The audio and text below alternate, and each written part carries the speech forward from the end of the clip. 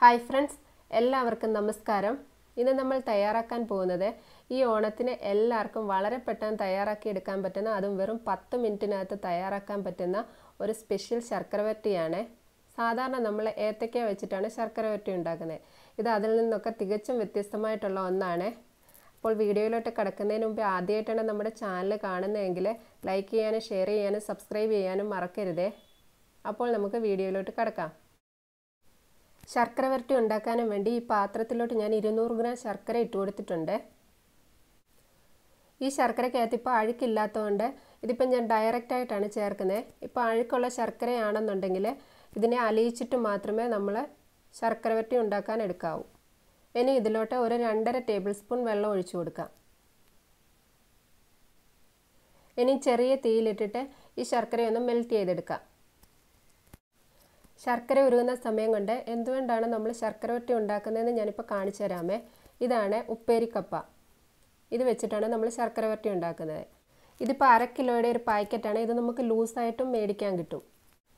ഇപ്പോൾ ഒരു ചീനിച്ചട്ടി അടുപ്പത്ത് വെച്ച് ചൂടായിട്ടുണ്ട്. ഇതിലോട്ട് ഞാൻ ആവശ്യത്തിനുള്ള എണ്ണ ഒഴിച്ചു കൊടുക്കുവാണേ. ഇനി ഈ കപ്പ ഞാനൊന്ന് കാണിച്ചു തരാമേ. ചൂടായ എണ്ണയിലോട്ട് ഇത് കുറേശ്ശെ ഇട്ട് വറുത്ത് കോരിയെടുക്കാം. ഇതിപ്പോൾ പെട്ടെന്നായി കിട്ടും. ഉണങ്ങിയ കപ്പയായതുകൊണ്ട് പെട്ടെന്നായി കിട്ടും. സാധാരണ നമ്മൾ പച്ച കപ്പ വറക്കുമ്പോൾ ഒത്തിരി സമയം എടുക്കും പക്ഷേ ഉണങ്ങിയ കപ്പയായതുകൊണ്ട് വളരെ പെട്ടെന്ന് തന്നെ ഇത് ഫ്രൈ ആയി കിട്ടും. ഇതിപ്പോൾ ഇങ്ങനെ തന്നെയും വേണേൽ നമുക്ക് ഫ്രൈ ചെയ്തിട്ട് കഴിക്കാം. അതായത് ഇത് വറുത്ത് കോരി എടുക്കുന്നുണ്ടെങ്കിൽ കുറച്ച് ഉപ്പുവെള്ളം കൂടി തളിച്ചെടുക്കുക. അങ്ങനെ ആണെന്നുണ്ടെങ്കിൽ നമുക്ക് വെറുതെ ആണെങ്കിലും കഴിക്കാൻ പറ്റും. ഇപ്പോൾ എണ്ണയിലിട്ടതിന്റെ ഒരു വശം ഒന്ന് മൂത്ത ശേഷം ഇതുപോലെ ഒന്ന് ഇളക്കി ഇട്ട് കൊടുക്കണം. ഇതുപോലെ ഒന്ന് തിരിച്ചും മറിച്ച് ഇട്ട് കൊടുത്ത് പെട്ടെന്ന് ഇതായി കിട്ടും. ഇതിപ്പം മൂത്ത് വന്നിട്ടുണ്ട്. ഒരെണ്ണം എടുത്തിട്ട് ഞാനൊന്ന് ഒടിച്ച് കാണിച്ചു തരാവേ. ഇത് കണ്ടോ? നല്ല ക്രിസ്പി ആയതുകൊണ്ടാണ് പെട്ടെന്ന് മുറിഞ്ഞു വരുന്നത് ഇനി ഈ എണ്ണയിൽ നിന്നും ഇത് മാറ്റാം. അതിനുശേഷം ബാക്കിയുള്ളതും ഇതുപോലെ ഞാനൊന്ന് വറുത്തെടുക്കട്ടെ. ഇപ്പം എല്ലാം ഞാൻ വറുത്തെടുത്തിട്ടുണ്ട്. കപ്പ വറുത്തെടുത്ത നേരം കൊണ്ട് ശർക്കരയും ആയിട്ടുണ്ട്. ഇത് കണ്ടോ? ഒഴിച്ചു കഴിയുമ്പോൾ ലാസ്റ്റ് ഡ്രോപ്പ് ഡ്രോപ്പായിട്ട് വീഴുന്നത് കണ്ടോ? ഇതാണ് ശർക്കരയുടെ ഒരു പരുവം. ഇനി ഒരു നൂൽ പരുവം കൂടെ കാണിച്ചു തരാം. ഇതാണ് ഒരു നൂൽ പരുവം ഈ ശർക്കരയ്ക്കകത്തോട്ട് ഞാൻ ഒരു നുള്ളു ഉപ്പൂടെ ചേർത്തിട്ടുണ്ടായിരുന്നു അത് പറയാൻ വിട്ടുപോയി. ഇനി വറുത്ത് വെച്ചിരിക്കുന്ന കപ്പ ഇതിലോട്ട് ഇട്ട് കൊടുക്കാം. എന്നിട്ട് നന്നായിട്ടൊന്ന് മിക്സ് ചെയ്യണം. ഈ ശർക്കര എല്ലായിടത്തും ആകത്തക്ക വിധം ഇത് നന്നായിട്ട് മിക്സ് ചെയ്ത് കൊടുക്കാം. ശർക്കരയും കപ്പയും കൂടി ഏകദേശം മിക്സായി വന്നിട്ടുണ്ട്. ഇതിലോട്ട് ഒന്നര ടീസ്പൂൺ ചുക്കുപൊടിയും ഒരു ടീസ്പൂൺ ജീരകപ്പൊടിയും അര ടീസ്പൂൺ ഏലക്കാപ്പൊടിയും കൂടെ ഞാൻ ചേർത്ത് കൊടുത്തിട്ടുണ്ട്. ഇനി ഇതെല്ലാം കൂടി നന്നായിട്ട് ഒന്നുകൂടെ മിക്സ് ചെയ്തെടുക്കാം.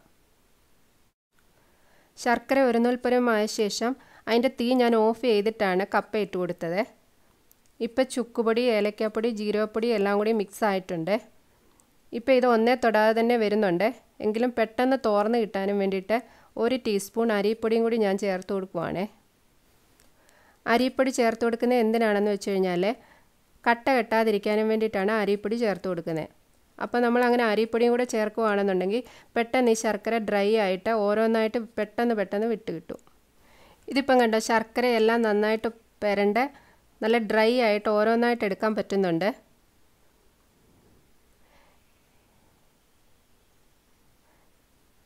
ഇനി ഇത് നമുക്ക് എത്ര ദിവസം വേണേലും സ്റ്റോർ ചെയ്ത് വെച്ച് ഉപയോഗിക്കാൻ പറ്റും. വിളമ്പുന്ന ഒരു പാത്രത്തിലോട്ട് മാറ്റി എല്ലാവരും ഒന്ന് ട്രൈ ചെയ്ത് നോക്കുക എല്ലാവർക്കും ഇഷ്ടപ്പെടും. വീഡിയോ കണ്ട എല്ലാവർക്കും നന്ദി. വീണ്ടും നല്ലൊരു റെസിപ്പിയുമായിട്ട് കാണാം. അതുവരേക്കും ബൈ.